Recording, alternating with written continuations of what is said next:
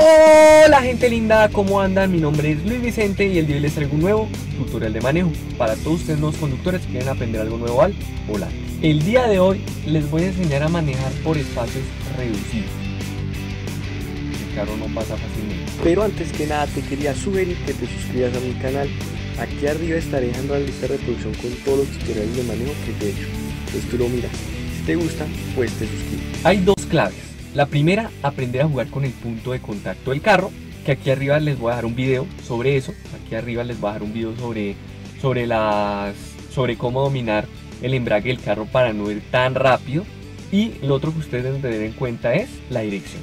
¿Listo? Las vueltas de la dirección. Recuerden que la dirección da dos logos y medio más o menos hacia la derecha y dos logos y medio hacia la izquierda. O sea que pase dos veces el logo derecho. Si ustedes quieren tener el volante derecho, entonces una vez tengan todo el volante en un lado, entonces le enderezan dos veces el logo que derecho, como les voy a mostrar ahorita. Bueno, lo primero es que ustedes tengan la certeza que el volante está derecho. Bueno, este lo vamos a prender. Lo vamos a prender y que ustedes tengan la certeza de que el volante está recto. Lo primero es mirar que el logo esté derecho, ¿no? El logo de, de la marca del carro. Pero obviamente, ¿no? Venga, yo no sé qué tan derecho está. Ah, bueno, entonces miren para saber cuando el volante queda derecho le van a dar todo hacia algún lado, hacia el que ustedes quieran. Y le enderezan dos veces. Uno, dos veces que el logo esté recto, ¿no?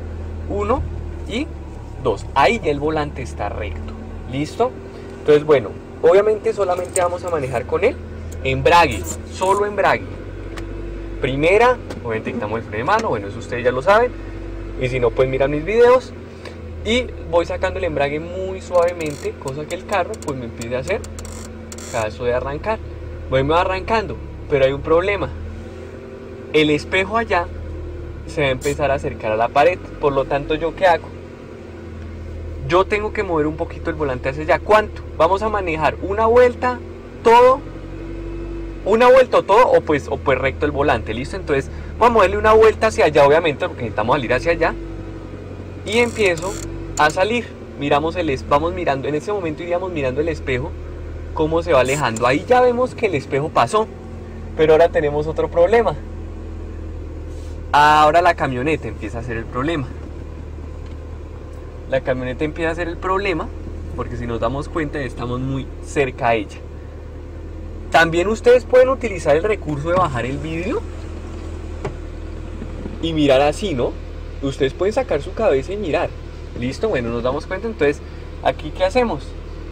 Llegamos ponemos nuestro, recuerden que le damos a una vuelta hacia allá, aquí lo ponemos recto y le damos por ahí media vuelta, no, una vueltica hacia el otro lado ahora.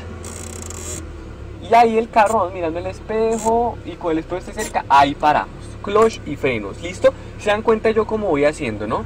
Aquí vuelvo a enderezar volante otra vez. Acuérdense que yo estaba aquí una vuelta hacia allá, entonces le enderezamos. Siempre tienen que tener la memoria de cuántas vueltas dieron. Y aquí ya estamos derechitos y miren, al parecer Aquí ya pasaríamos, vamos mirando espejo y después vamos mirando camioneta.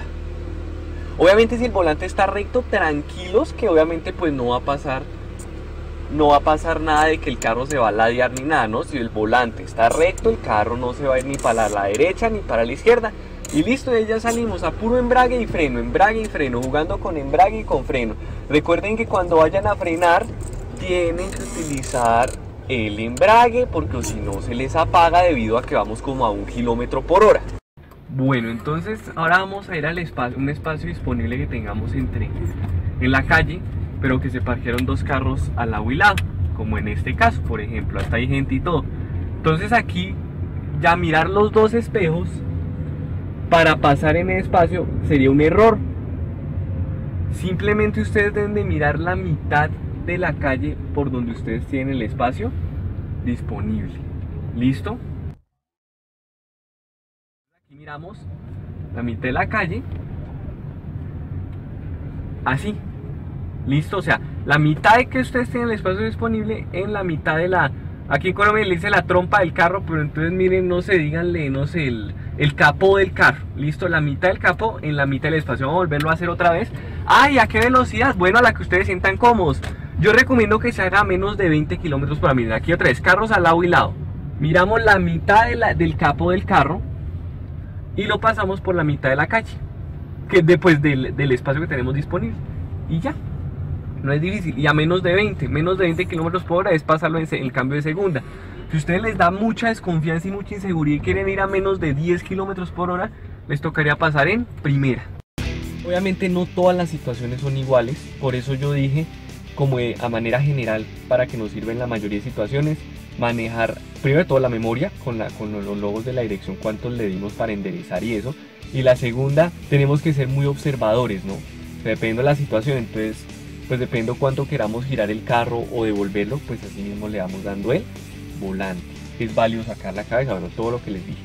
Si te gustó este video, regálame un like. Recuerden comentar aquí abajo sus dudas o pues otros videos que quieren que les haga. Yo ahí voy solucionando sus dudas poco a poco en los videos o les respondo por comentarios. Nos vemos el otro domingo. Recuerden suscribirse, compartir. Nos vemos el otro domingo. Bye.